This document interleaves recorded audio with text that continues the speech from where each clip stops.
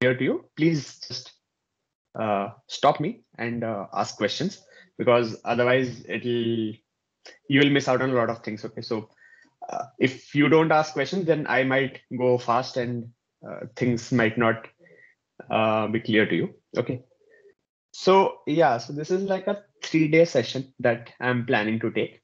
So in these three-day sessions, so what I expect is that after uh, the third day, you guys should be able to uh, create your own uh, RL experiments. Okay, like create your own RL environment, create your own RL setup, and you can have a training model setup uh, that you can use to further develop your research in RL or so. Okay. So now before we start, uh, so if I understand correctly, are all of you guys from the computer science department or is it a mixed bag? It's a mixture. Okay, it's a mixture. So uh, how many guys are here are familiar with what reinforcement learning is? Or at least have done some coursework or some projects beforehand? okay, uh, quite a few. So yeah, uh, those of you who are raising your hands, could you tell me like how did you get introduced to reinforcement learning and what all you have covered so far?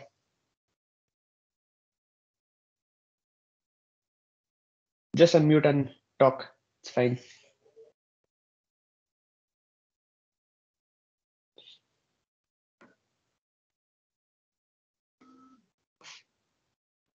Okay, for me, it was mostly just exploring the OpenAI gym and then getting Okay. to know how the uh, environments are set up and everything. Okay, so were you able to uh, get that clearly? How? No, no, I have not actually experimented much, but I would like to Okay. after this session.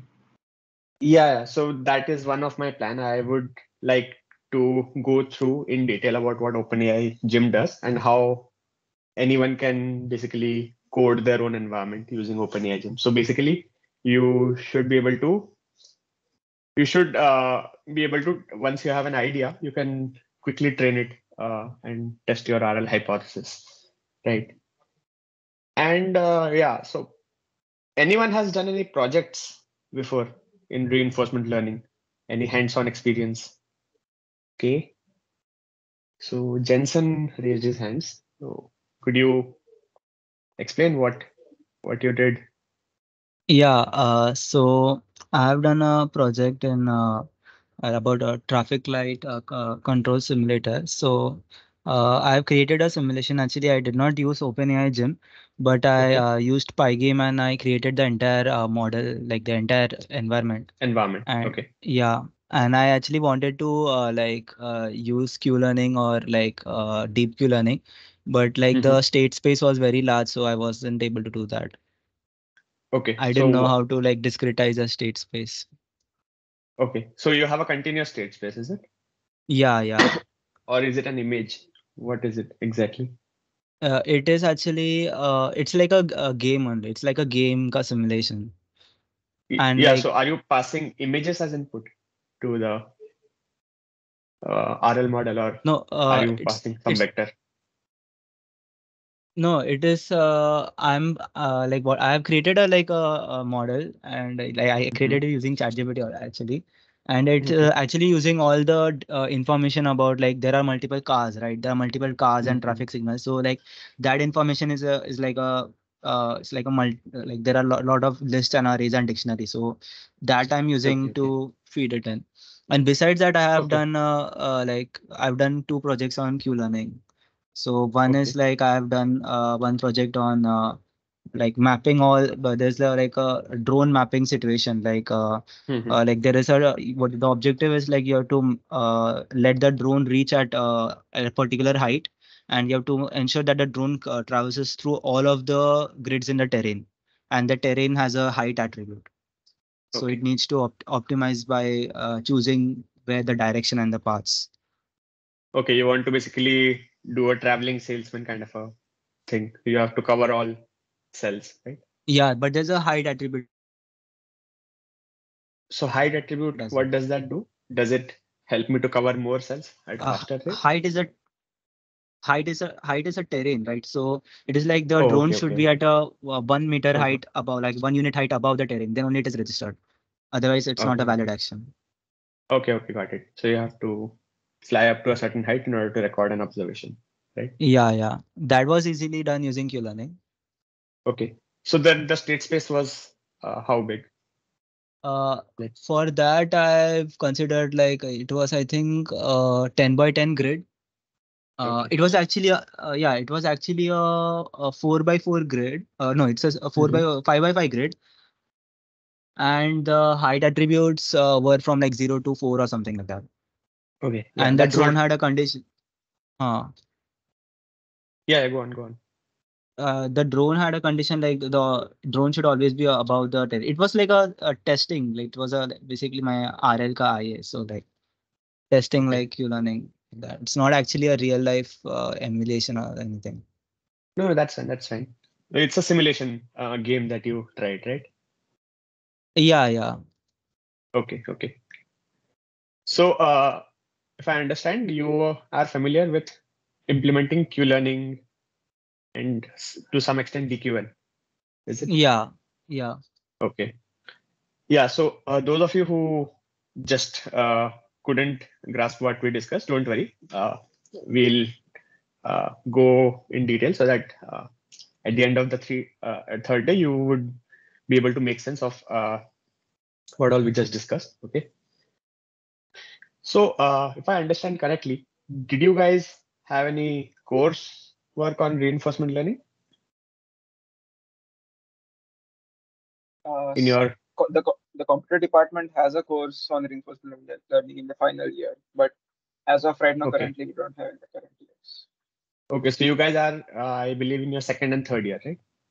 Yeah, majority of us. Yeah. Okay, okay.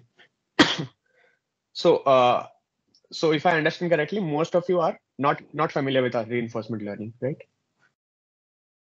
You're just starting out. yeah that would be the case Sorry, could you repeat?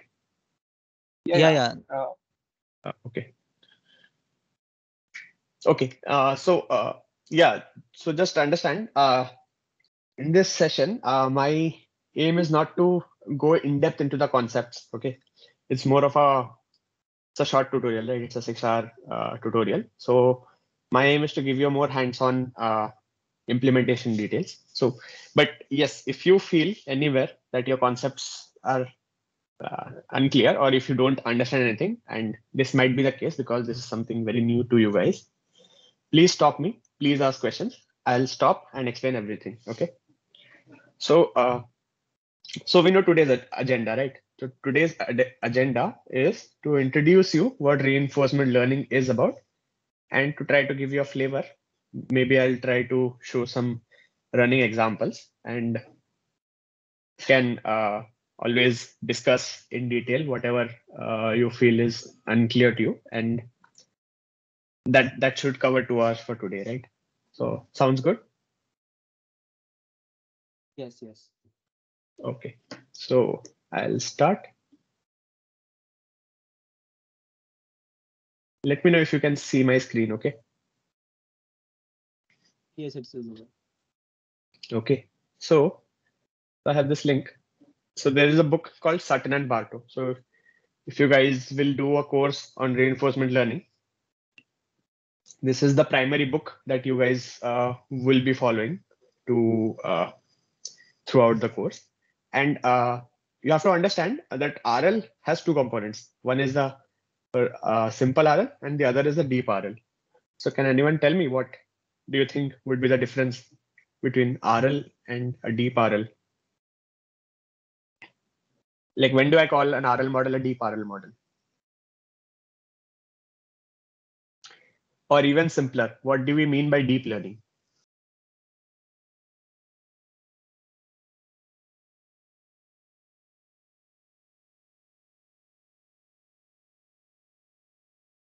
like when we have a machine learning model when can we say that the machine learning model is a deep learning model where is the fine line what is the definition rather uh, when we are using a neural network that has uh, multiple layers, like more than three, four. Okay.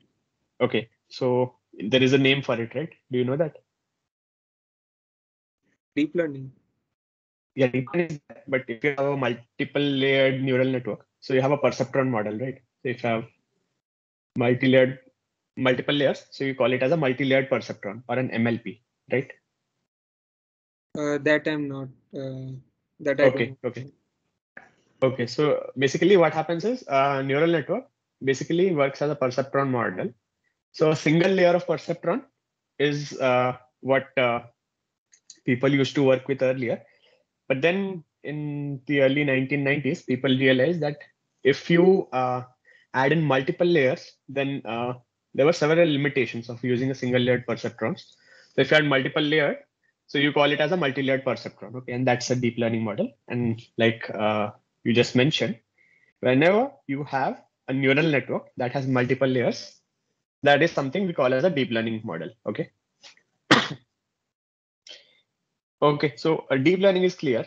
Now, can someone explain what do you think could RL be about? Like, what, according to you, is reinforcement learning? Somebody who is unfamiliar and who is uh, joining for the first time. What are your like expectation or understanding? Like, what do you think could be the case? If you have any idea about it. Uh, we are training the model to reach a particular goal by giving it a feedback. Correct, correct. And uh, why do you think uh, RL is different from a supervised model or an unsupervised uh, learning model? Like, why do we need to call it as reinforcement learning? Uh, as much as I know, uh, in supervised learning, we um, we have a label, right? So we have told the model that this is uh, this is what the output should be, Okay. and uh, and it's like uh, you have uh, we are comparing it to it, comparing Okay. the result of the model to the labeled output. But in reinforcement learning, we are um, it's like uh, you are at a particular point. So should you go right or should you go left? Uh, we are telling it like that. So then why can't I call it unsupervised learning? Uh, There we I don't have labels, right? That I don't. Okay, uh, so I'll tell you the main difference between supervised learning, unsupervised learning, and reinforcement learning is the presence of a data set. So you train a model in supervised learning, you need to have a data set available with you. So a data set can be of two types. It can be a labeled data, it can be an unlabeled data, right? So if you have a labeled data, you compare those two things, you train your loss function, minimize it, and what you have is a supervised learning model. So you can create a regression model, you can create a classifier model. Okay, so there is a data that you have. Same with unsupervised learning. You have a big data set, millions and millions of data set, but you don't have an existing label to it. Okay, so it's like you know a particular uh, column looks like, but you don't know how to classify it. So you don't classify those things as a cat or a dog. You don't give it a label, but you classify based on their similarity scores. Okay, so that is unsupervised learning. The difference in reinforcement learning is, like you mentioned, the aim is simple. You want to achieve a goal, or rather, to make it more general, your aim is to achieve a behavior or a trait. And how do you do that? You do that through trial and error. Okay. Trial and error in the sense you don't have a pre-recorded data set that you're training your model on. In reinforcement learning, we don't use any sort of data sets. It's like a human, when a human being is learning a certain behavior or learning a certain habit, you don't need to repeat that.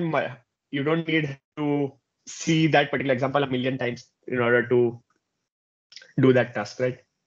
You try something, it fails. Your brain gives you a signal whether it was a success or a failure, and then you, based on uh, the reward, if it was a low reward action, you tend to avoid that. If it's a high reward action, you tend to do that multiple times. Okay.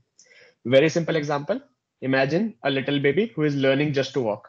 Okay. So It's not like a uh, small baby. You would just uh, feed in. You don't just uh, give the baby hundreds and millions of YouTube videos. Okay. You just see this video and learn how to walk, right? That's not how it works.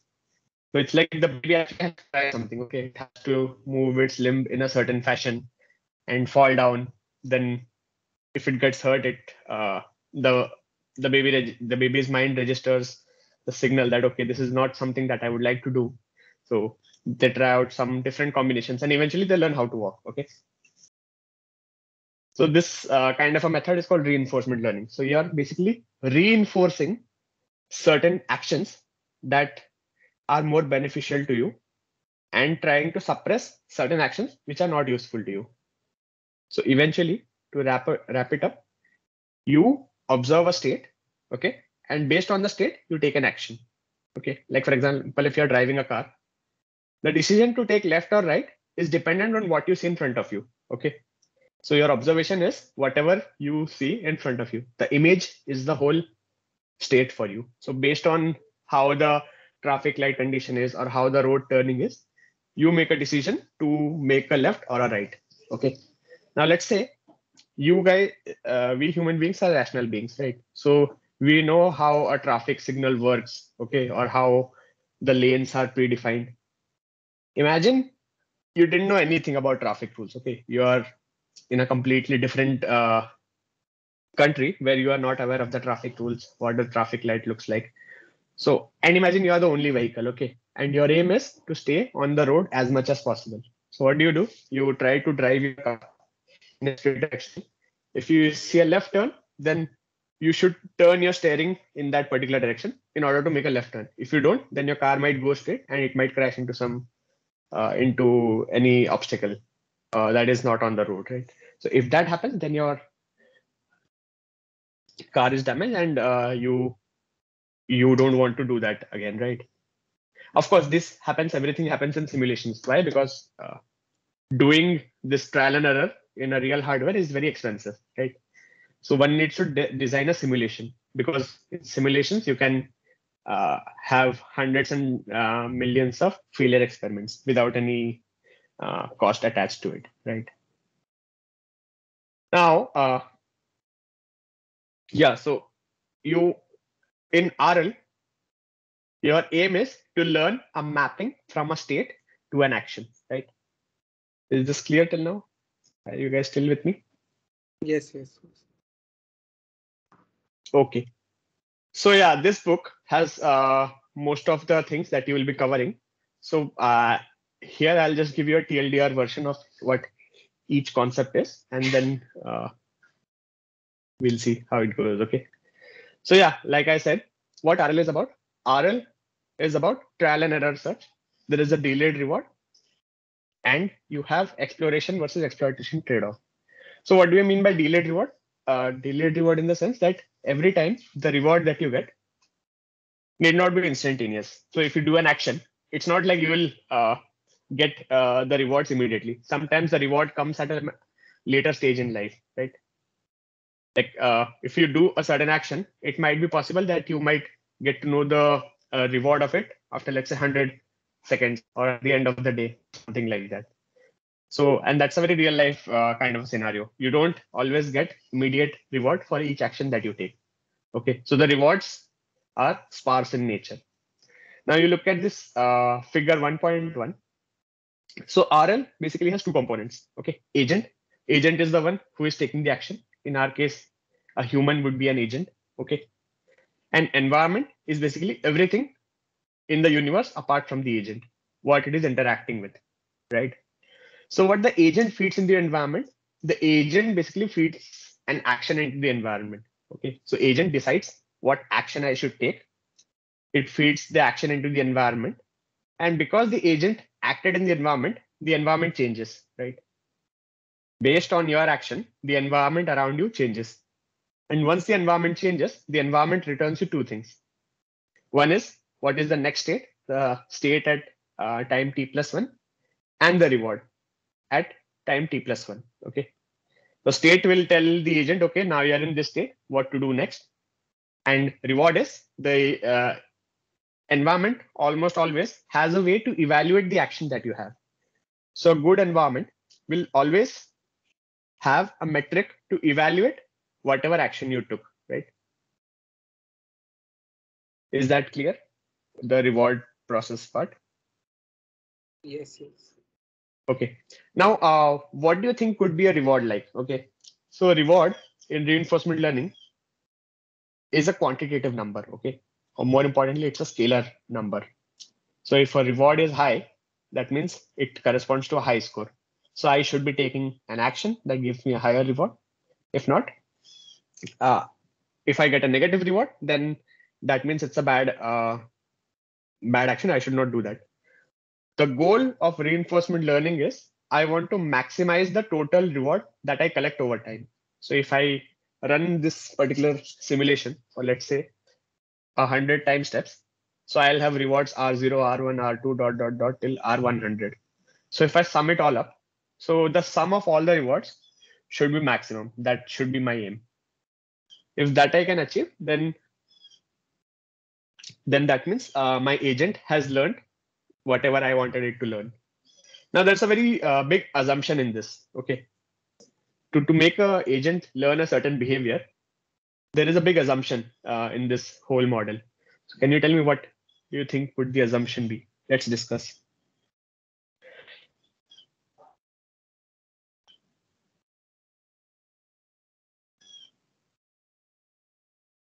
That we are not on the goal. No, you you will get an idea that you are on the goal. That is all you can always set that a set of states is a goal state. You can always set that to be true. But there is something more inherent if you think about it.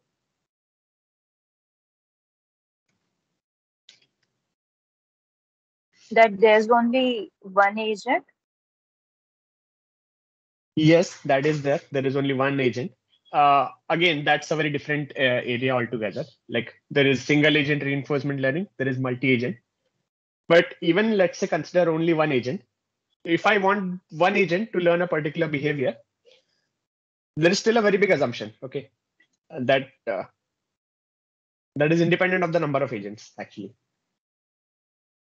And that I'll hint you is somewhere here in the reward part. Is it that uh, after every action we always should get a reward? Yeah, let's assume a simplistic case that after every action you get a reward. Even if you don't, then also RL works. But let's say you get a reward after every action. That is also fine. Even if it's not the assumption uh, case, RL still uh, works fine, right? Because we say that RL works well with delayed rewards as well. But yeah, uh, something along the lines of the reward function. That's a big assumption about reinforcement learning.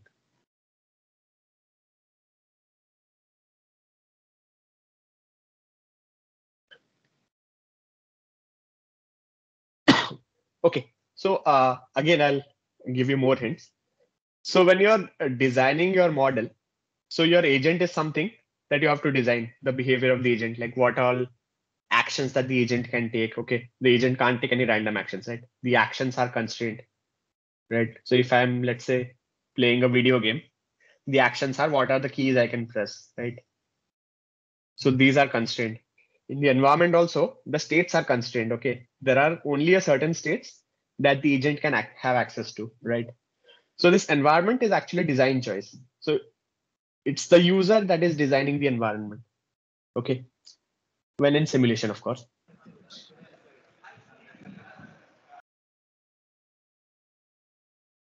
Now, can you think what could be a, something lacking with the reward?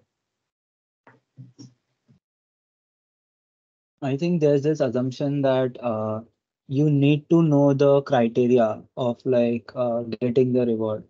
It's like how do you know a reward is better than the other Yes, or yes, how a that is- action? That is correct. Exactly correct. So reward is something that you are engineering. Okay. You are engineering or designing the reward by hand. And your RL model is only as good as the reward that you design. Okay. So you might think, okay, designing this particular reward will give me the desired behavior. But that is again an assumption you're making, right? So let's say if I want to drive a car on a uh, lane, okay. So how do I design a reward? So let's say you might say, okay, uh, I should give it a penalty for when it goes outside the road or when it drives off the lane or something like that. So you can design a reward like if it drives off the road for every time step, you'll get a reward of minus one. If it crashes into another vehicle, it's a minus 10. And if it drives correctly, you give it a plus one. Okay. So you are always tuning the parameters, right? So because you don't know how the reward should look like, it's again design that a user is making. So your behavior would be as good as the reward function that you are divine, designing, right? And uh, reinforcement learning is actually an optimization algorithm. Okay. So uh, given a state, action, and the reward, RL will always find me the optimal solution. That is guaranteed in reinforcement learning. But that optimality is very much dependent on how the state is designed, how the action is designed, and how the rewards are designed, right? So that is one very fundamental assumption that RL uh, goes with, that your behavior is only as good as the reward function that you have. Okay. So like uh, I said, reward signal is given by the environment at each time step. So we are assuming that at each time step, we are getting some reward. So when I say delayed reward, uh, at a particular time step, the reward might be null also, right? You can get a zero reward. That is, but at each time step, you will get something, even if it's zero or non-zero, you will still get some reward. Okay, but yeah, there might be case where uh, the rewards are sparse in nature. So any example you can think where the rewards can be delayed? Any simplistic example? I have a question. Yeah. So, uh, can you repeat uh, what is the assumption that uh, the reward is? Um, I didn't get that part, the assumption part. So the reward is something that you are designing, right? To uh, help an agent learn something. Uh, you are designing how the reward should look like, right? Because you are designing the Yes. environment, right? When you are developing yeah, an RL so model, we are engineering the rewards according Yes. to our Some intuition. understanding of it. yes, some intuition that you might have, right? So, what is the assumption there? Assumption is that, That you might think, rewards will work? yeah, that's that's what your assumption is. Your assumption is if I give this particular reward, I should expect this behavior. Okay, so it's not, uh, we are not sure about it, but we are trying it. We are doing the trial and error thing with reward also. That yeah, yeah, that's true. That's a very big problem in reinforcement learning. Actually, the rewards are not very Oh. straightforward to always design. Okay, so if the behavior is very complicated, okay, let's say you want to do a very complex task. Like for example, if you want to develop an agent for playing chess, then reward is very simple. Okay, so if you win, you get a reward of one. If you lose, you get a reward of zero. Okay, but uh, there are certain complicated actions, uh, like in robotics, or you have uh, autonomous driving where the rewards are not very straightforward because you have too many components to deal with right? You have the steering component you have the acceleration you have the brake clutch. You have multiple different different actions you have multiple different states okay? Now you want to basically assign that each particular state should map to a particular action combination and developing that kind of a reward oftentimes is not very straightforward so from a developer perspective it is also kind of a trial and error. Okay. So you are trying out certain reward and you are trying it with the hope that it should give me the optimal performance or it should give me what I expect it to do. Okay. Yes.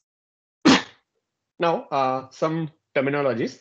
Policy. Policy pi is basically the mapping of states to action. So this particular part, if I highlight this, where I'm circling my arrow, this is where we need the reinforcement learning agent, right? The reinforcement learning agent should tell me what action to take. Given I have the state and the reward, what is the action I should take? So I need a reinforcement learning agent. So my policy pi basically is mapping this state to the action. Okay. So given a state, what action I should take? So you think of it as a black box. Okay. So there is a black box. Think of it as a neural network. You are passing in the state that goes into a neural net and you're outputting a particular action. Okay. So that neural network or that box that you have, we denote it by pi and we call it as a policy. Policy meaning your it's a mapping, a function that maps from states to action. Okay.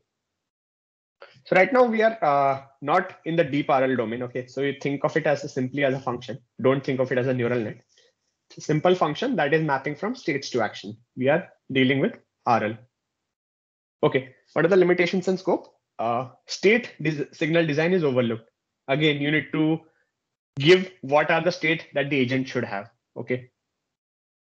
So let's say if I am developing an agent to play a game of chess, what do you think could be the state that the agent should get? Okay, let's say you're playing, developing a game of. Let's say you're developing an agent to beat the human world champion in chess. So to, in order to take an action, the agent should know some behavior, something about the environment, right? So that is the state that is also needs to be fed into the agent. So what do you think could the state look like in such a scenario? Or let's say even take a simpler example. Let's take the example of tic-tac-toe. Okay. Tic-tac-toe is a simple game, right? It's a three cross three uh, box where you fill in with X's and zeros and you want to beat your opponent in tic-tac-toe.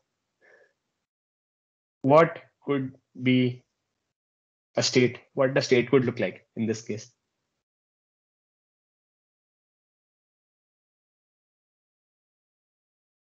The entire board plus the turn which player is playing. No, let's see. Uh, it's a two player. Yeah, that's true. Uh, let's say you are only playing, playing. Uh, but how do you feed in the board exactly? I mean, Like, you like, want to uh, You need There to are many extract ways. some. Mhm. uh, like one way I know for chess, I think I saw it in a video. It's like uh, Mhm. for chess, you need to know the position of uh, all the uh, like uh, all the pieces, Pieces. and all, all the, the every square, right? So Yeah. uh, it was like uh, they converted uh, the entire thing into a binary uh, combination for a Correct. state, and Mhm. uh, actually I forgot a little bit how uh, it was exactly. I think it was like in the pawn, uh, like pawn position, you can represent it into like from zero to eight squares in every row. You can uh, represent like where, where is the pawn. So you can you have one list for pawn, then one list for Mhm. the rooks and the bishops and all that. And since it's a binary number, uh, you can convert it into a decimal, and at the end you get you get a single simplest representation. It was Okay, using it yeah. Actually. Yeah, that is that is one way. So for chess, let's say it's very straightforward, right? You can design an environment like that. Now let's move to a more real life example. Let's say driving a car. Now, how do you represent what you see in front of you to the agent? You need some representation, right? That the agent needs to take into account. That is also something you need to design. Okay.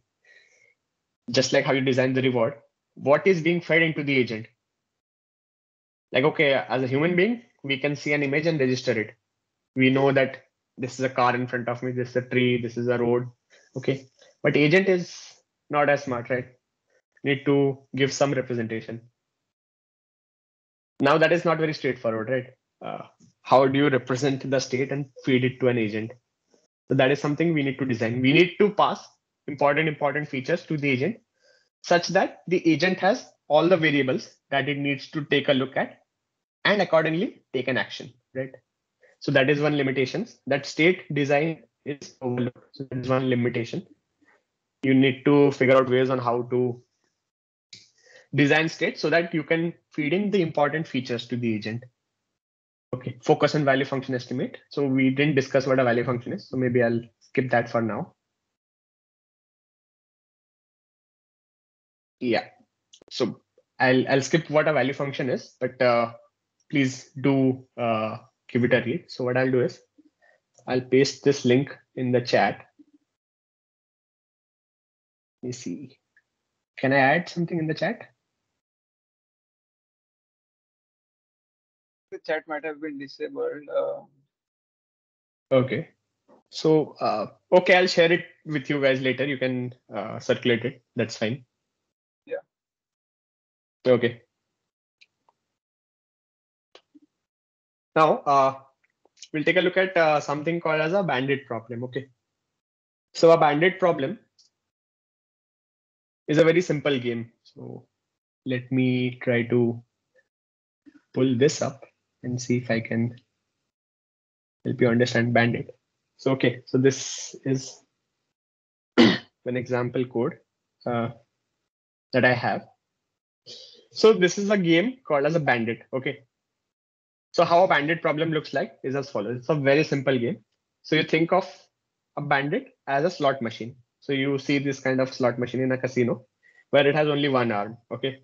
Now your aim is if you pull that arm, you will get a certain combinations and you have the values for each combinations. And once you get that particular combinations, you will get a particular reward for that, whatever you get. Okay.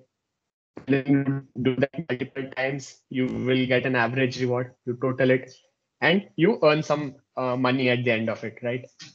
But the uh, caveat is every time you pull the arm, there is a cost associated with it. Okay, you are actually feeding in some money to pull the lever. Right. So uh, the overview is uh, in RL, the agent is repeatedly faced with a choice among different options or actions. After each choice, it receives a numerical reward chosen from a stationary or non-stationary probability distribution that depends on the action you selected. Objective is to maximize the expected total reward. So this is like one of the simplest example. So let's say you have three choices and you want to select uh, one of the three choices at every time step so that your overall reward is maximized. Now think of it like this. So each of this slot machine, so whoever is the casino owner has designed the slot machine, right? So behind this slot machine, there is a way in which uh, these uh, numbers appear, okay? And uh, there is basically uh, a reward associated with it. So it might be that pulling sl slot machine one will give you a higher reward than pulling slot machine two, or pulling slot machine two can give you a higher reward than pulling slot machine three. So uh, these rewards are inherently designed by the casino owner, okay? But you as a user are not aware of it. So what do you do initially? You want to figure out which is the best slot machine so that I can keep pulling it eventually to get the maximal pos maximum possible reward over time. So what should I do? Pull the lever for uh, each of the machines once. Okay, let's say let's say I pull this, I get a reward of hun. I got a reward of zero. Okay. I pulled this combination because I don't know what this uh, orange is. I don't know. So this combination is not present over here, right? These three combinations. So I got a reward of zero. I pulled it once, I got a reward of zero. If I pull this again, the combination would be different, the reward would be different. So you understand the reward is not a single value, it's rather a distribution. Okay.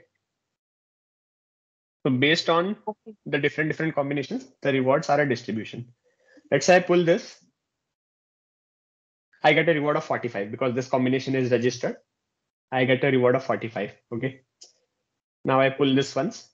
I got a reward of zero. So what I did is I pulled all the three arm once and I have this result in front of me. Now, what do you think I should do? Should I keep pulling slot machine two continuously?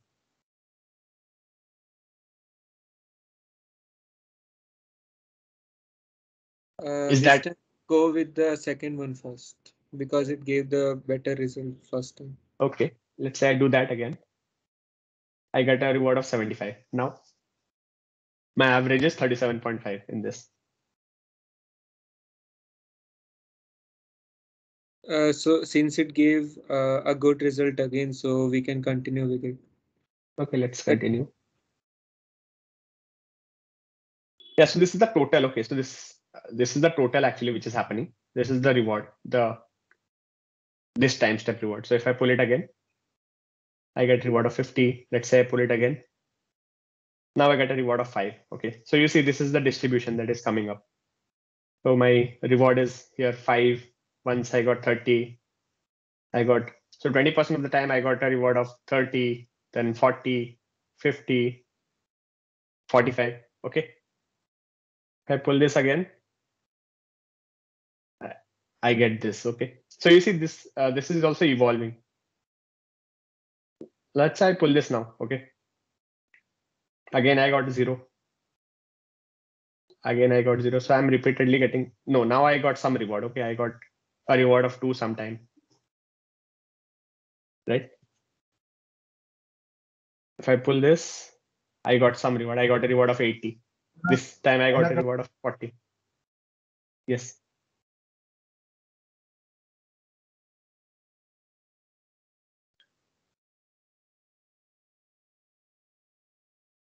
Yeah, so you guys understand right what is happening. Each arm pull a single arm pull is not sufficient to determine the reward. Okay. So like I said, reward is not a singular value. It's rather a distribution. So if I plot a histogram, if I let's say pull each arm a thousand times, I should get a histogram plot over here. Okay, so one histogram might be a bit steeper, one histogram might be more widespread, and so on. Okay, if I do this, now I again got a reward of zero. Uh, yeah, I got now this time I got a reward of 10 and so on. Okay. So what I do is I'll just run it 10,000 times. When I clicked on run, I pulled each lever 1000 times and this is the distribution that I that I got from it. Okay, so what can we infer from this? So for each different slot machine, there are three different reward distribution that I'm getting. Anyone? And this is the average reward also.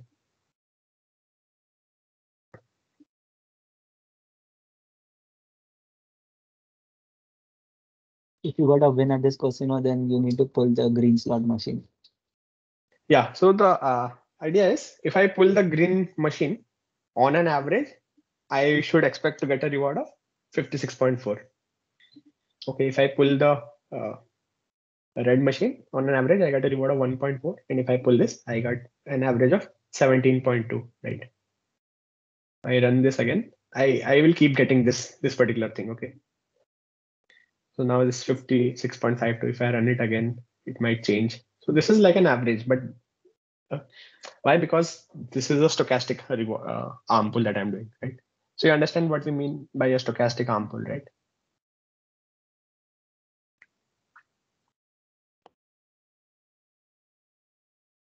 What do we mean by stochastic rewards?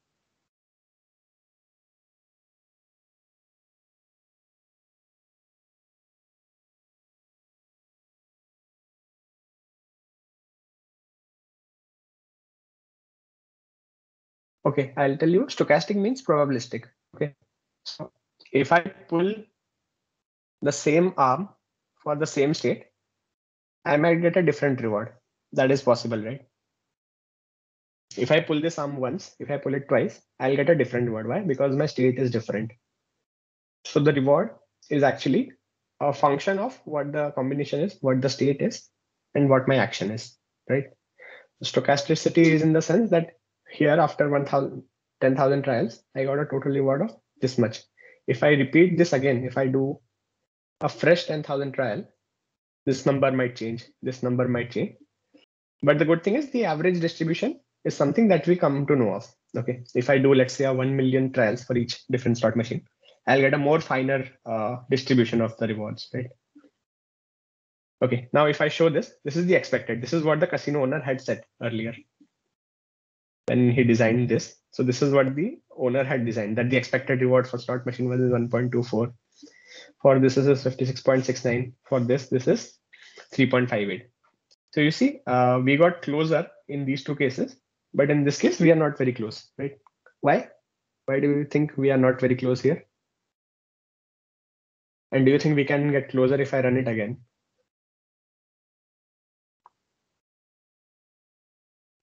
Let's say I reset everything. If I run this again, see now I'm very close, right, to all these three. Uh, so earlier the blue one was not a, a, a smooth a smooth uh, decrease. Like Mhm. earlier, uh, over here also, the red one is a smooth decrease. Uh, the the first one is the highest one. It's like a um, it's like an exponential graph. Uh, I'm not Okay. uh, like a hyperbolic graph. So Mhm. it goes uh, to the top at the first, and then it gradually comes down to the bottom. Uh, Okay, same, you're same with these over here, uh, the two over here. But earlier in the blue one, the Mhm. um, like It was there a was a double edge graph. there was yeah, two it was peaks, not right? in between. Mhm. So yeah, when I reset it, the expected value also changes. Okay, if I reset it and run it again, so now I'll get a different thing, right? So you understand what happens. Like each day, the slot machines are reset. Okay. So what worked for you on day one might not work for you on day two. So when I reset, that means I'm moving on to a new day. Okay. now you can you tell me what do you think is problematic in what I did or what like what is an assumption I I figured out how to uh, to know which slot machine gives me the optimal reward. But what did I lose in that process?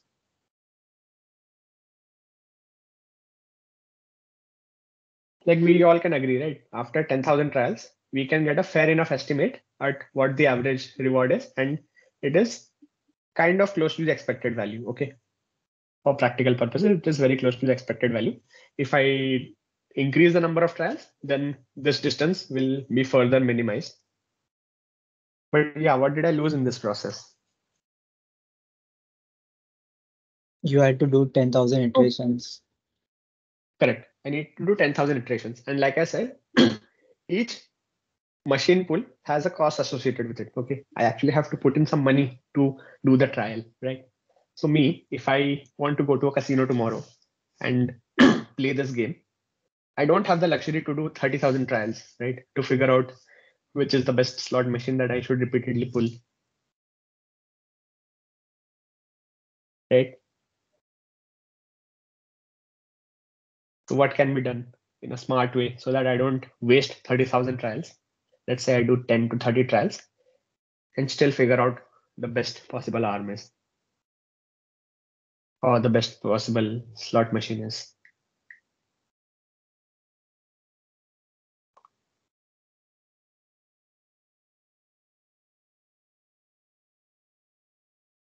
Okay, forget about slot machines. Let's say more practical example. Let's say I come to Mumbai tomorrow, and let's say near the KJ Somaiya campus, there are three restaurants. Okay, let's say uh, red, green, and blue. Now I have to stay there for let's say a year, and I need to figure out which is my favorite restaurant. Okay. Now the taste of each restaurant might be different on each day, right? Or my mood might be different. Okay, so someday I might feel I'm in the mood for uh, something exotic or something simpler and that way the tastes varies sometimes the weather also plays a part right so sometimes in summer i would let's say prefer to eat something more light and in winter i might prefer to eat something more comfort or heavy right so that's how the uh, the reward is also evolving right so sometimes my mood is a bit different sometimes it might happen that the chef is on a leave and you have a backup chef creating food for you. So you don't think of it as a slot machine in general. Think of it as any real life example where you're tasked with choosing a particular uh, option over all set of options. Like eventually I want to figure out what my go-to restaurant is when I'm there. And I don't want to do after let's say eating at each restaurant 30,000 times. Okay, I want to do it let's after 10 or 15 trials. I should confidently say that okay, uh, I should prefer uh, the orange restaurant over the other two. So uh, we need a smart way to do that, right?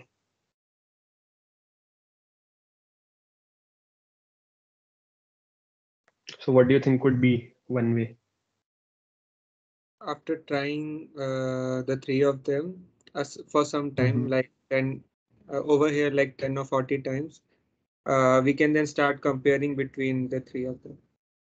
Okay, And let's do that here. Better Let's try your hypothesis. What should I do? try it for 10, 40 times for each of them. Okay, let's say one, two, three, four. Okay, 10 trials. Let's say 14, 15 trials I'll do. Okay, Yes. let's say I did this.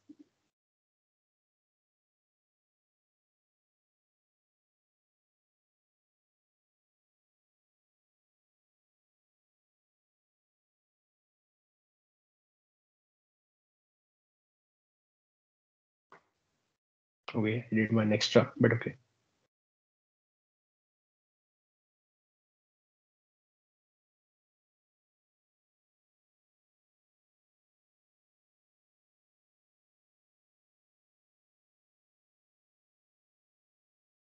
Okay, let's do 16 for each, okay, to make it consistent.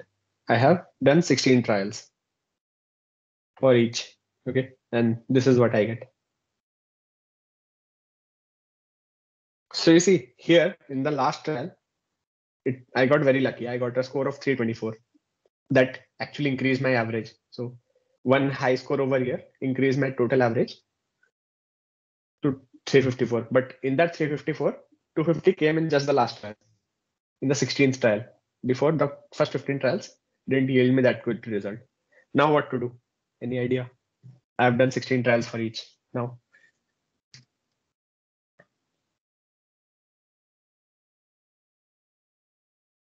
Instead of just taking the average, you could try maybe weighted average. Weighted average as in Uh, like the recent uh, trial. The most recent uh, trial should give. I should give it a higher exactly. weightage. No, no, no, not ex- not like that. I was thinking ki like uh, if you have if you have like uh, uh like number of tri- trials uh, multiplied by the reward like that. Like number of zeros you got into the zero. So zero into zero will be that, that much only. But like for maybe Yeah, we like have this 40. total, right? Yeah, we have this total, right? Yeah. So Huh. we have the total score here in front of us. That is reward into number, like all rewards into all the trials. Acha, okay. Now, if I just want to see what the actual score is, so you see, this is the expected score. This is also, of course, we don't know this. Okay, this is something that the restaurant owner or the slot uh, machine owner, the casino owner has set. We are trying to estimate this reward. So the average is our estimate. This is the uh, true value, which we don't know. Unless I click on show, I don't know this. Okay, but let's say after 16 trials, what I would have done. Let's say I would have figured this to be true and I would have gone with this. Okay. But it might happen that I might get lucky twice in a row in this. And so the total score over here would be much higher. Whereas the expected score is much lower, right?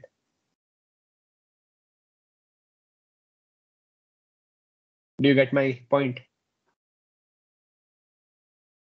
Like I might get lucky with the orange one, let's say three times in a row, so that in the first 15 trials, this gives me a very high score. Okay.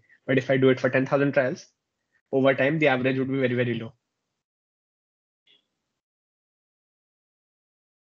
Meaning on three days, the restaurant uh, made some really exceptional food, but most of the days they don't uh, make that great food.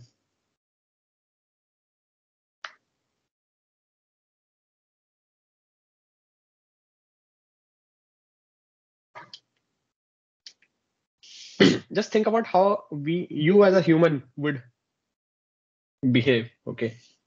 Don't think uh, like think of it more from an intuition perspective. Let's say you're exploring a new place. What would you do? You don't uh, take 16 trials right? First and then decide okay this is the restaurant i would like to go to. Sometimes your mode is like oh i'm hungry. I should go with whatever best i have till now I, I know that till now restaurant uh, Orange provides the best food, so I'll try to go there. Something like that, right? Think how how a human would behave in such scenario. Yes. Um, the blue one has more consistency, so we'll go with that. Yeah, but you don't know that, right? The consistency. Mm, okay. In the general scenario, in um, the restaurant scenario, we'll choose the orange one because we are getting, uh, you got lucky in the last trial. So Hmm. the tendency would Yeah. be, let's go there. Yeah, I got I got a reward of 250 in the last trial, right? So naturally, I would think, okay, I should go there again, right? So now if I want to formalize this thing, okay, let's say I run this for 10,000 trials, and this is what I get. Okay, you see this average is bad because I got lucky here, which spoiled the average for me. I should, if I reset this, so things things like this happens usually, right? In in a real life scenario, these things often happens. You might get lucky in some trial. You might think, oh, I got lucky here, so this might be the best possible action. So I should keep doing that repeatedly. But if you do that repeatedly, you're actually missing out on something else, right? So uh, think of it like this. Let's actually compare. Uh, okay, before that, uh, I would like to introduce you to an algorithm which we guys call as the uh, epsilon greedy. Okay, what I'll do is eventually first I'll pull all these three arms together. Okay, I get the average. I keep a track of the average at each trial. Okay. Now, should I always go with the one which has the highest uh, average?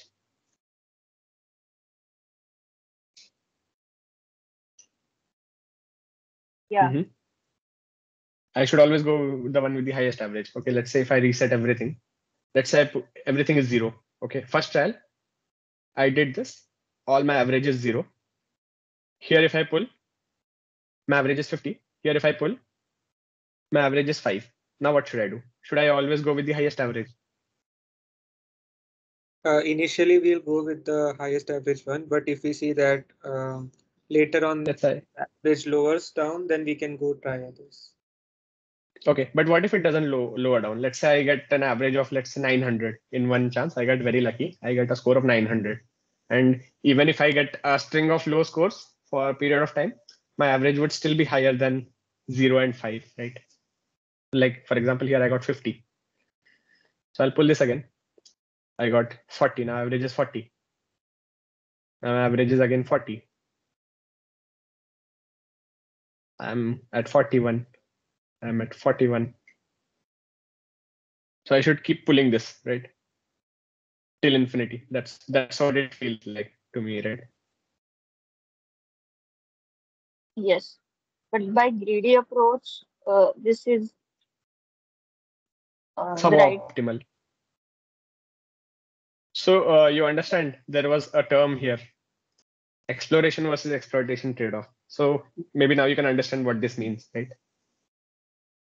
So do you want to explore more or do you want to exploit the best possible knowledge that you have?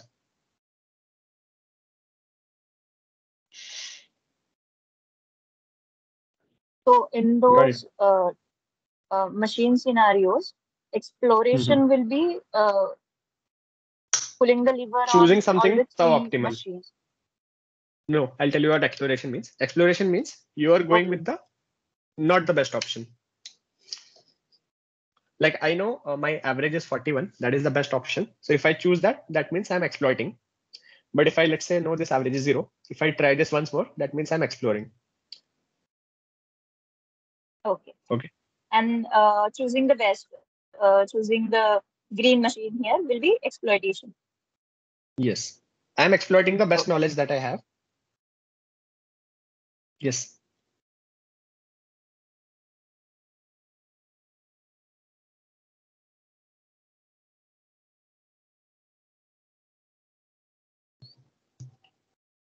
So this is a very important trade-off, right? Like exploration and exploitation. Yeah, that that is the uh, key here, right? We need to somehow balance this exploration and exploitation. If we do a pure exploration, okay. So if I when I say pure exploration, if I pull a random arm each time, then that is not adding to my knowledge anyway, right? I'm just exploring. I'm not uh, getting any knowledge out of it.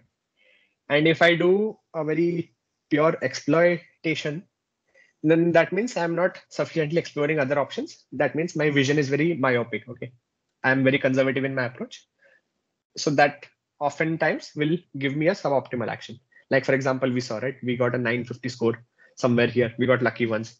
So my exploitation would be I'll keep doing that again and again, but eventually the expected score was much lower. I I might have missed out on the green one because I got lucky over here and I chose to exploit it uh, till the time I was there. So I missed out on other options which were actually better. Right. That is also an important uh, summary. In reinforcement learning, it is very important to balance the exploration versus the exploitation, right? now you know what the terminology is. What is exploration? What is exploitation? Now, can you tell me a way how you can balance this two together?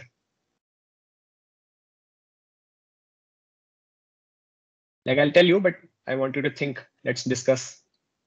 let's get more involved in the discussion.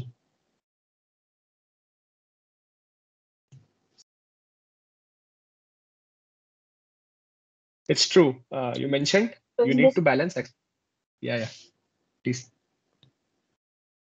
So in this case, to balance the exploitation and exploration part, uh, we can uh, pull the lever for uh, uh, for every machine for Mhm. some trials, and then uh, go for the exploitation and choose uh, whichever machine is giving us the best reward. Okay, so what is the number of trials that you want to try? 100 for each? In machine scenario, it is doable, but in not uh, real Mhm. life scenario. Yes.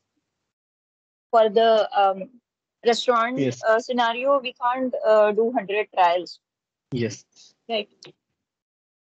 Uh, we can do this that the uh, we can give the one uh, giving better results more chances, but uh, we Mhm. will also explore other uh, options too. Like we Okay. can uh, we can try the red one two times, the green one 10 times, and then the blue one four times like this. Okay. And Okay. That's interesting. Interesting. So uh, if you give it a percentage to exploration exploration, let's give it a percent split. Okay. So do you want to do 50 50 or 60 40? What is it? Yeah, more than 50 50, like um, more on the exploitation side. So is 80 20 a good number? And uh, I want to ex- that's too extreme. Something like uh, 70 30 or 60 40. Okay, okay, okay. You are on the right track, but uh, think uh, think a bit more. Okay, so it's like if I exploit initially more, then exploration is limited. But initially, I want to explore more, right? If I don't know anything, initially I want to exploit explore more. But let's say after I have let's say done one billion trials, okay.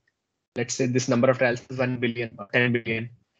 Then hmm. I know with 99.99% accuracy, which is the best possible action. Now I don't need to do 30% exploration over there, right? That is just wastage of trials, right? Do you understand my point?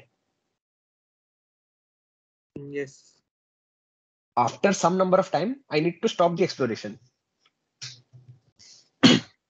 Initially, yes, I need to do exploration. Initially, I need to explore more, but eventually, I need to choose the best possible action, right? That is also a requirement for me. You are on the right track. You need to do some sort of a split between exploration and exploitation. But yes, yes, please go ahead. Please go ahead.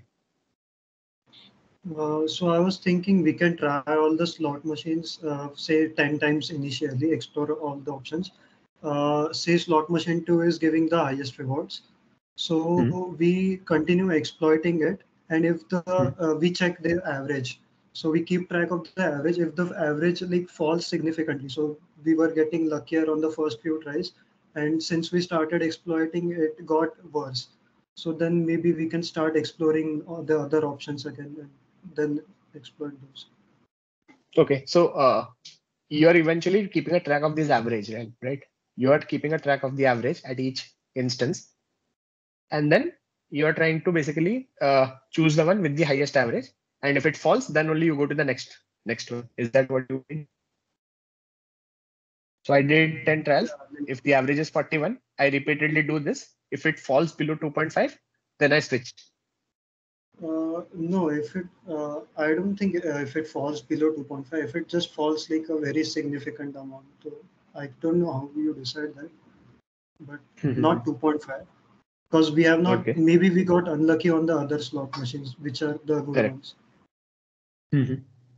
Okay, interesting. Uh, yeah, so you guys on the right track. You are saying that initially I would like to explore because I don't know anything, and eventually I really would like to make sure that my explore exploration goes to zero with time. Okay, so there is an approach. So you know the greedy approach, right? All of you are familiar with the greedy approach. When I say greedy, greedy means 100% exploitation. That's the greedy approach, right? Yes. yes. So uh, one alternative way to think of it is something called as an epsilon greedy. Okay. So when I say epsilon greedy, so this epsilon is a very small quantity. So you can think of it as a near greedy approach. Okay. So this epsilon is actually a percentage. Okay. So you can think of it as a 0.2 epsilon, uh, 0.2 greedy. So when I say 0.2, that means I am greedy 80% of the time. So with uh, 1 minus epsilon percent, uh, 1 minus epsilon probability, I am being greedy. But with epsilon probability, I am exploring. Okay. Clear? Yes. So this, this approach called epsilon greedy. So 1 minus epsilon uh, with the 1 minus epsilon probability, I am being greedy. So this epsilon is a very small number. Okay, so let's epsilon, let's, let's say 0.25. So I can say 0.75 uh, with 0.75 probability, I am being greedy. And with 0.25 probability, I am exploring. Okay. So the uh, issue with the epsilon greedy is that the epsilon is a constant, right? And we don't want a constant. So there is another method called as decaying epsilon greedy. What do you think this could be?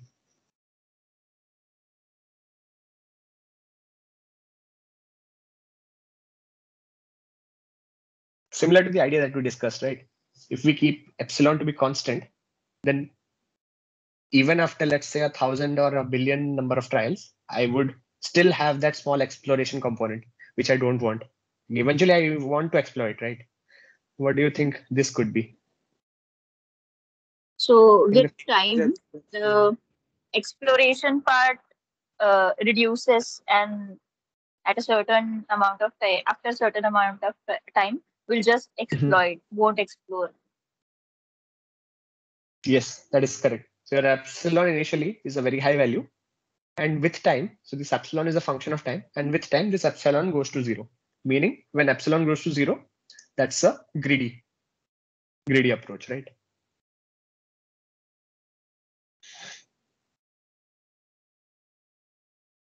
Got it. Yes. Okay, so let's see comparison. So to a just a different policies, we consider 10 slot machines, each with a reward system that follows a normal distribution. So are you guys aware of what a normal distribution is?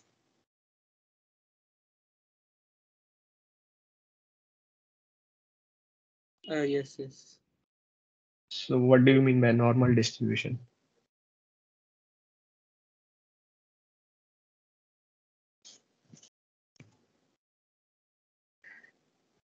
Do you guys know about Gaussian distribution?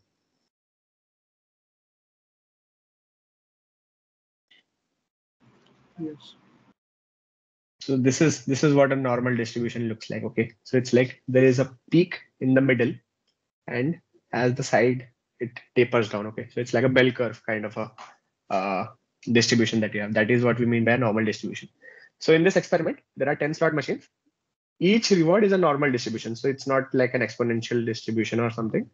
So I have 10 different machines. All of them will have a normal kind of a distribution. Use the sliders to adjust the mean of the normal distribution. Use the parameters to set the iteration number for each different methods. Non-stationary option moves the mean of the normal distribution by 0.5 in either direction. This happens at 20% of the total iterations. So what this is saying is I'll have 10 different slot machines.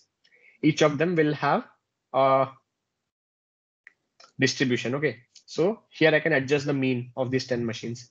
So when I say mean, that means where the peak would be. So if the peak is at zero, okay, if the peak is at zero, that means uh, eventually I'll get a reward of zero, but uh, based on the standard deviation, uh, some might taper off faster, some might taper off slower. So the range is defined by the uh, slope of the hill, right? And when I say non-stationary is true, that means it moves the mean of the distribution by 0.5 in either direction. This happens at 20% of the total iteration. Okay, so let's say if I select non-stationary, that means the mean after every fifth iteration, the mean can shift by a factor by plus or minus 0.5 in either direction. So the reward is also changing with time. Okay, so when I say non-stationary, the reward is changing. And my decay factor is 1.2. So decay factor is my epsilon initially is a very high value. my epsilon with each iteration will decay by a factor of 0.3. Okay. So let's take a predefined case. Let's say I take case one. Okay. So here, these are this is how the 10 different slot machine looks like. So this is how the mean of the 10 different slot machine looks like. Okay, let's forget UCB for now. This is a different algorithm. So let's compare epsilon 1, epsilon 2.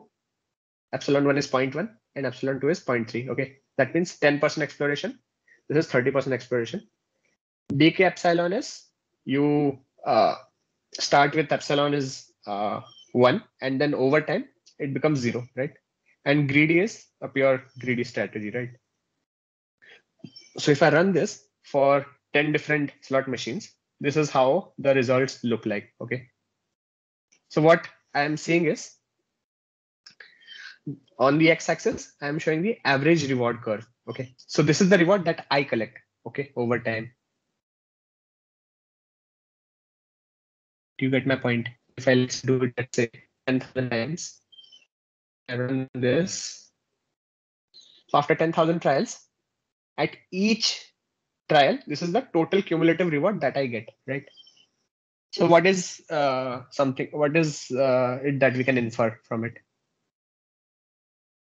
Any idea? Let's even remove this non-stationarity part. Let's keep it a stationary problem. Yeah, what do you think could be an inference? Like, do you understand what this graph tells me?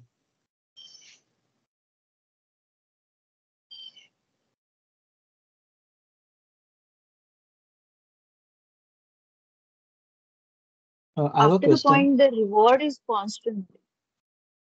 Go ahead, go ahead. Yeah. Yeah, yeah. go ahead. After a certain amount of iterations, we don't need to uh, explore. Yeah, that is true. So this this is the reward. Okay, so this is like what the reward is at each different time step, right? So how many times I'm choosing this particular, this is the average reward that I get over different different time steps. So let's say if I take a look at this epsilon 0.1. So what it tells me is if I do a 10% exploration, so I'll end up somewhere here. Okay. So my average reward would be around 2.5 after 10,000 trials, right? If I do 0.1 epsilon, if I do 0.3 epsilon, my average would be 1.6. And if I do a pure greedy, my average would be 0.997, right? And if I do this epsilon decay, that makes takes my average bit higher. Okay, you ignore this UCB for now, but take a look at these four plots. And what do you think is an inference that you can draw? With uh, epsilon decay, we are getting Hmm. better results. Yes. And that is something that uh, you can uh, also explain why you're getting, right?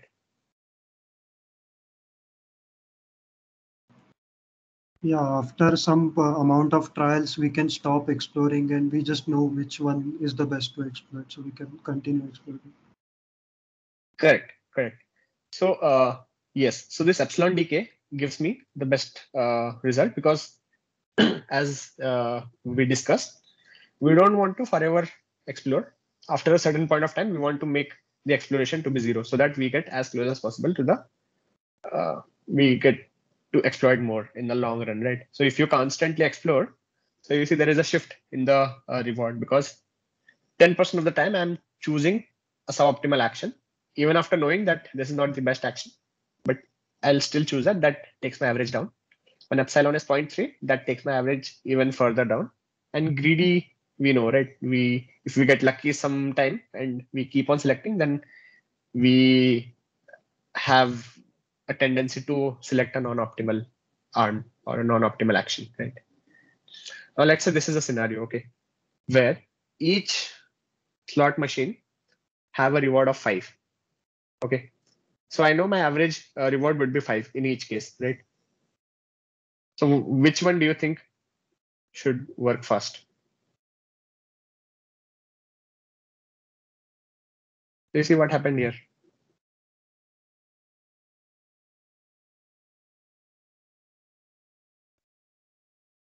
My mean is 5. Irrespective of whatever arm I choose, my mean uh, reward would be 5.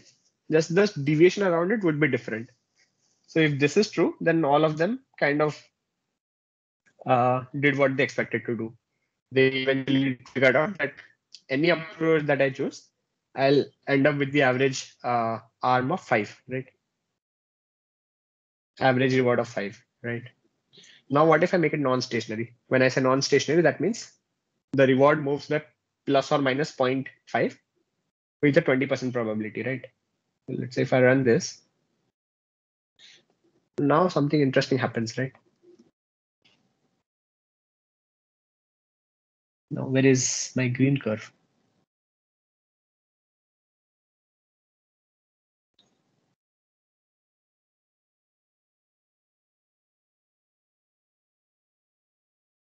Yeah, can you explain what happened around here?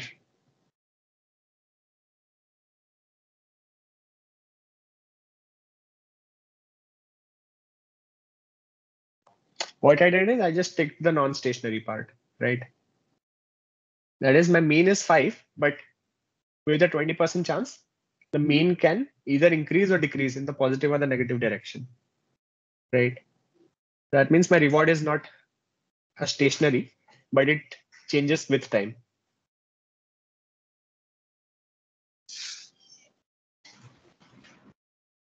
So uh, if we are uh, reducing the exploration in the later phases, but uh, if we think like a slot num slot machine two is giving the best rewards now, so Mhm. like extra, ex with epsilon decay we can uh, uh, stop exploring the other options and exploit slot machine two, for example.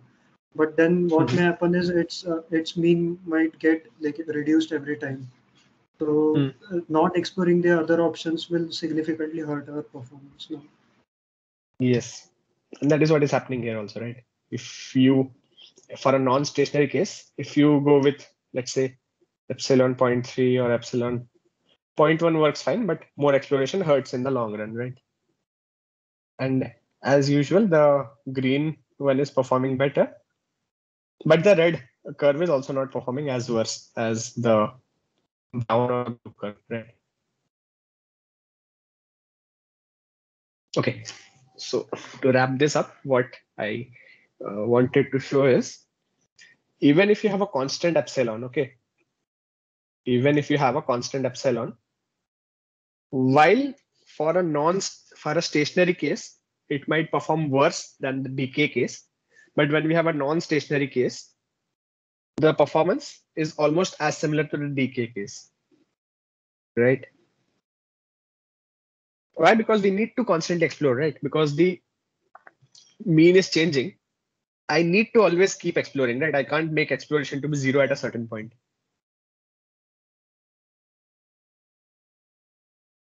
You understand? Uh, if we have to uh, constantly explore, then how come with epsilon decay it is giving us a similar result as e- epsilon 0.1? Mm, that is also interesting. Uh, let's try this again and see. I do this non-stationary and run. And Also, it is giving similar.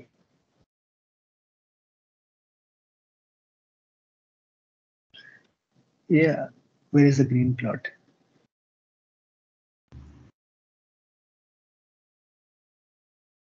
Yeah, now it's not behaving similarly, right? Now see the difference. We just got lucky. Because there. in uh, uh, because in epsilon decay, the epsilon will be reduced. It will become after a zero. At this point, this becomes zero. Yeah. Yeah. You can see that this is exactly the point where the epsilon decay became zero. And because my uh, mean is shifting, and because of not exploring, the average went down a lot. Right? It might happen that the arm that it was choosing became, let's say, minus two in the long run. And because I had set my exploration to zero, I kept on selecting even though it decreased uh, the value kept on decreasing. Right? Yeah. Okay. So what do you think uh, would be a conclusion of what we just discussed so far? Anyone can wrap it up? Let's see how many people are there actually. Oh, there are 35 people. Nice.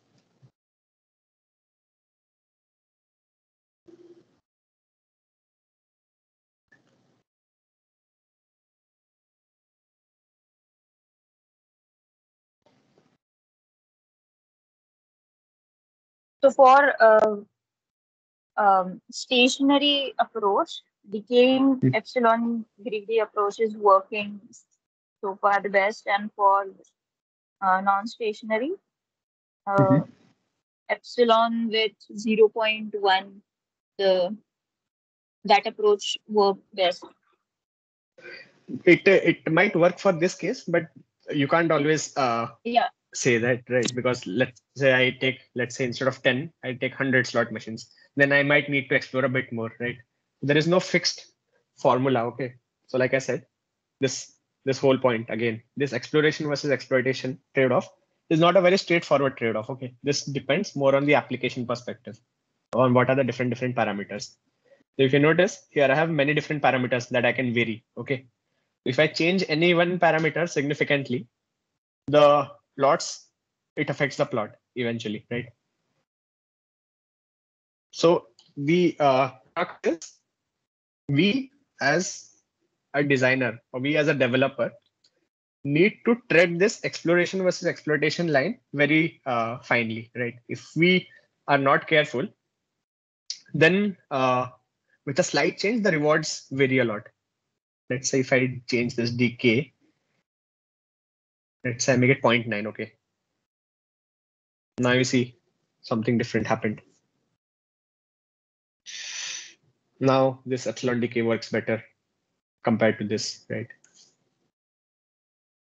And why this is the case? Because when I made this epsilon to be 0.1, where the best possible arm that I was exploiting, it fell down rapidly. From here till here, it fell down rapidly. But because I had 10% exploration, I still managed to move up, but not not uh, that well. But here in this case, if I have let's say 0.6 exploration, the drop off was not very significant, right? Even if the best possible action that I was exploiting till now, it fell off because I had 30% exploration, it still balanced the overall uh, reward. Okay, so it didn't allow it to fall this much. Now you realize that you can't we can't always say that 0.1 is better than 0.3. It is very much dependent on the application that we have at hand, right? okay. So it totally depends on the current scenario, I guess, right? It depends on the current scenario. It depends on the stationarity, non-stationarity. It depends on what are the hyperparameters that you are setting, how many number of arms that you have. So here we have 10 slot machines. Let's say if I have 1000 slot machines. It's not a very straightforward answer to uh, wrap up the discussion today. The answer is not very straightforward and it's a very open-ended question also in RL right now. How do you balance this exploration versus the exploitation trade-off? Do you keep on exploring more? Do you exploit what you have currently? Or how uh, one can uh, basically make or design a robust algorithm such that this balance is achieved, okay? So yeah, this is what I had in mind today to give you a flavor of what this multi-arm bandit is. So I think it's around 9 p.m. for you. So if you have any other questions, please feel free to ask. Anything apart from what we discussed, anything you think could be interesting. So I'm happy to uh, discuss. Please feel free to ask. Uh, I wanted to ask this, like, uh, why is epsilon d uh, like greedy or epsilon decay not always the best? Why it is not always the best. Yeah, Okay. So you saw why epsilon decay works, right? For a stationary case, epsilon decay will perform the best. And that is understandable, right? If the rewards are constant over time, I would want the exploration to go to zero eventually. So my epsilon decay is a perfect strategy to achieve this, right? yeah. but let's say if my rewards are non-stationary, okay.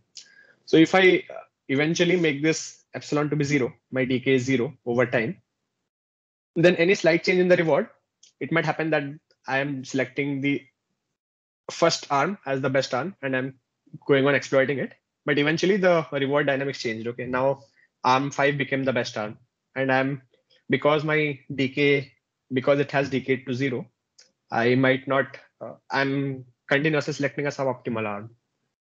That might happen also, right? Ah, I see, I see. I get it, I get it.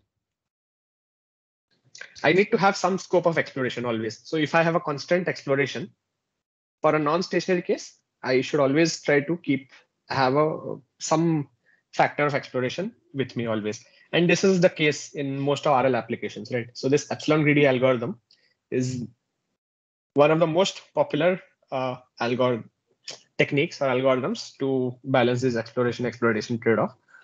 And this works in both cases. Okay, so if I take the stationary case, let's say case one.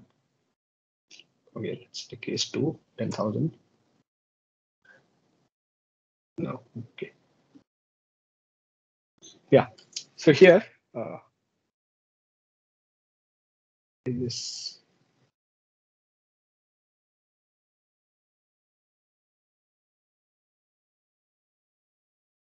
no.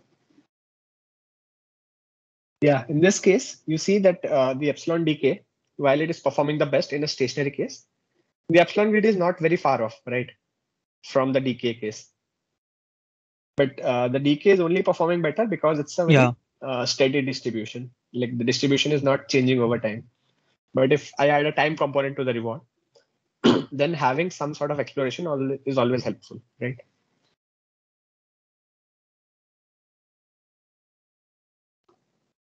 Okay, I'll uh, maybe I can show one more example and then maybe we can stop. okay, let's go here. Okay. So let's take a dynamic uh, programming approach. Okay, so let's say I have a grid over here, right?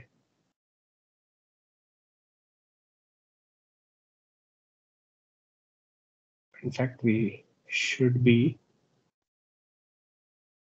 taking a look at this video.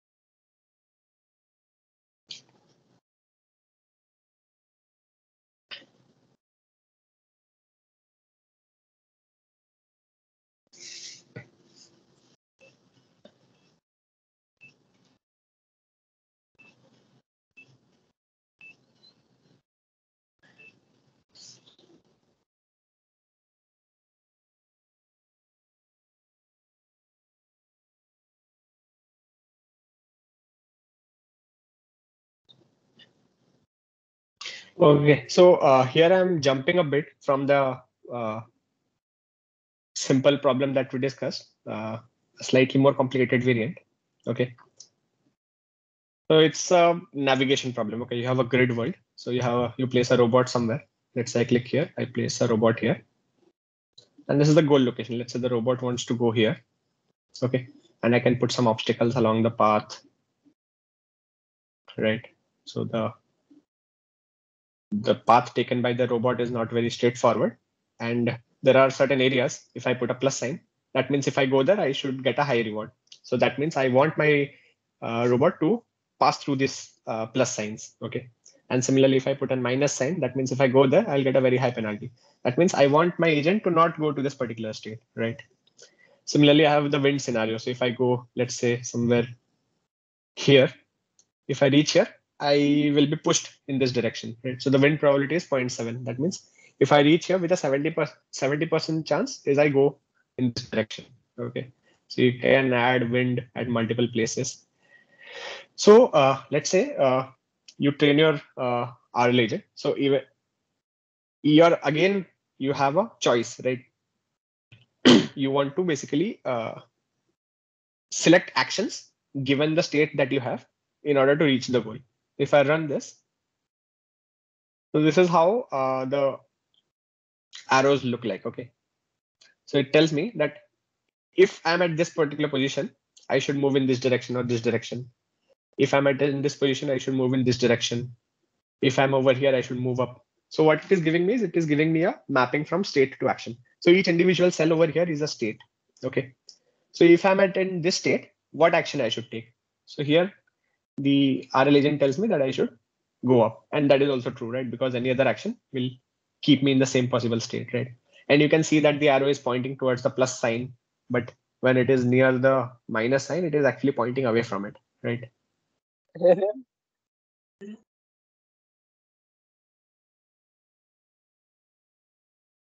So let's say I take this example, okay? Now it's a robot is here, it wants to go here. How will it go? If I run this, this is the best possible path, right? If I'm here, I should go either here or here. If I'm here, I go this side. If I'm at this, if I am starting from this position, I should go here. So it's like a, um, this is what we mean by a policy, right? Policy is basically mapping from state to action. So a policy, it's a representation of a policy, right? For each state, what is the action that I should be taking? This is something that a policy is, this is something that the agent should learn eventually, right?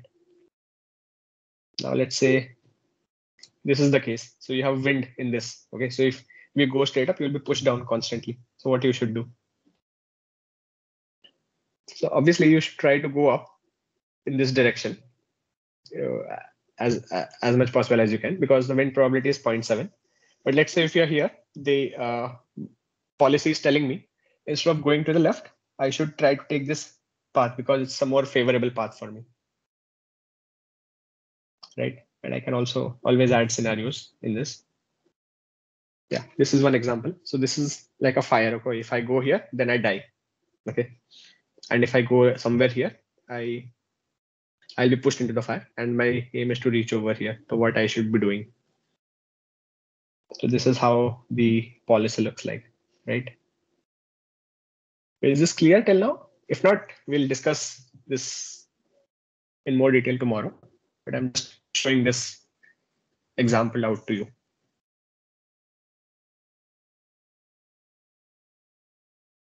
Yes. Okay. And this is another example. So let's say this entire thing is blocked. So the only way to reach the goal is if I enter this tunnel and I exit from here. Okay. So all my policies. So if I'm here, my arrow shouldn't point this side.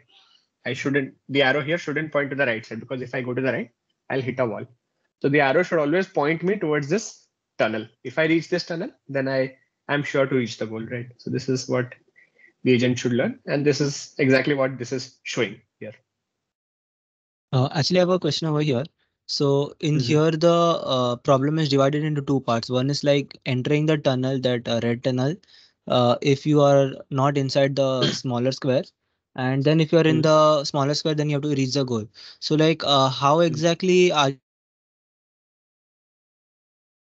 you're giving it uh, the red tunnel uh, reward lesser than the goal state reward?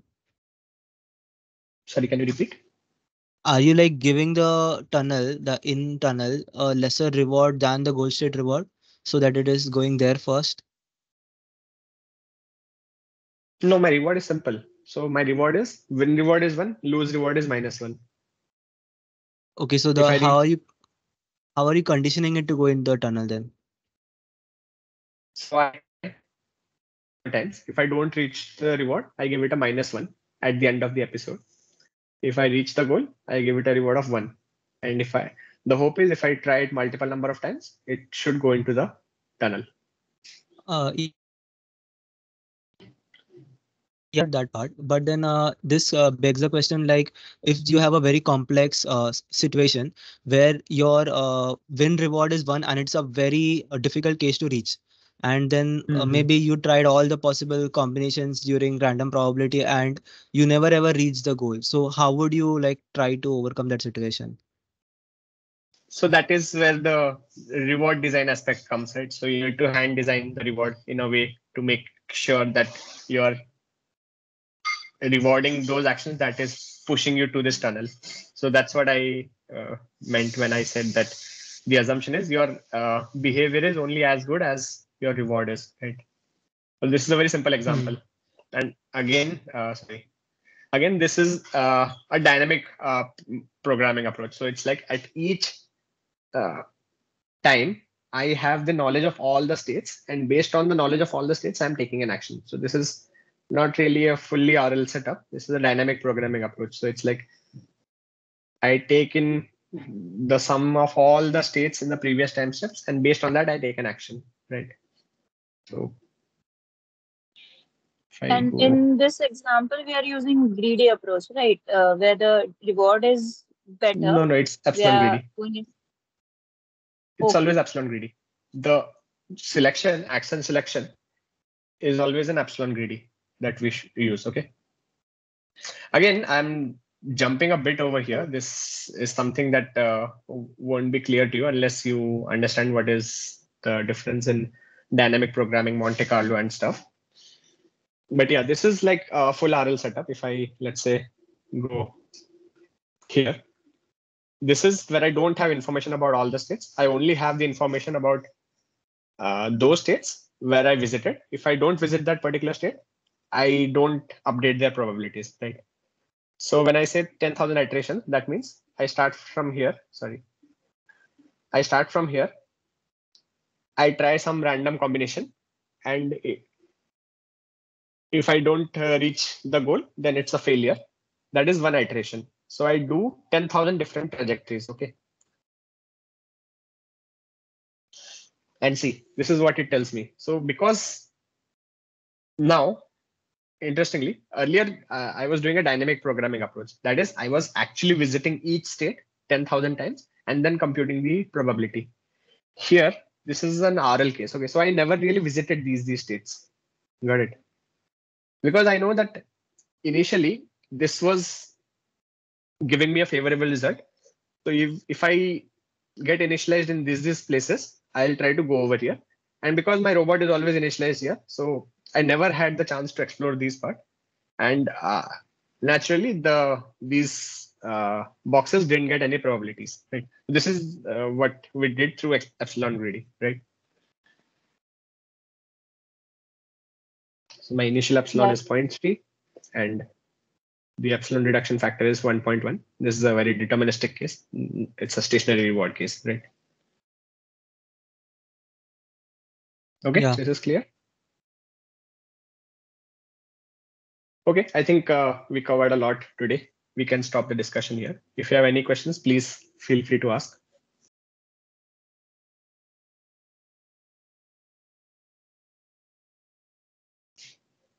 Uh, is there any uh, set of rules or anything like that to uh, balance the exploitation and exploration trade-off? Are there any uh, protocols as such, or it's There are, there are different uh, different algorithms. Trial and error? No. Okay. there are different algorithms like like i said epsilon greedy this point uh, epsilon greedy is one of the most popular approach it works in the case of stationary as well as non-stationary case we saw right Yeah. So according to the case, we'll choose the algorithm. Even if you don't even if you just go with the epsilon greedy approach it works 95% of the time in most rl cases other than that Okay. there are other algorithms like you saw ucb we didn't discuss what ucb is. That is one another approach. There is another approach called the softmax approach. Ucb has different different variations. Uh, epsilon greedy algorithms also has different different small small variations. So people have been researching on these these aspects how to make this balance as more as much sophisticated as possible. So yeah like like epsilon greedy there are uh, ucbs another popular strategy people use but it is very much dependent on the applications. There is no fixed or a deterministic protocol to determine which is the best approach in this case.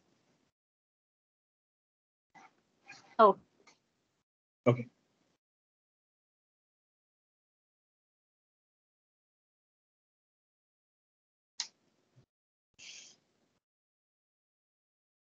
any more questions otherwise we can call it a day today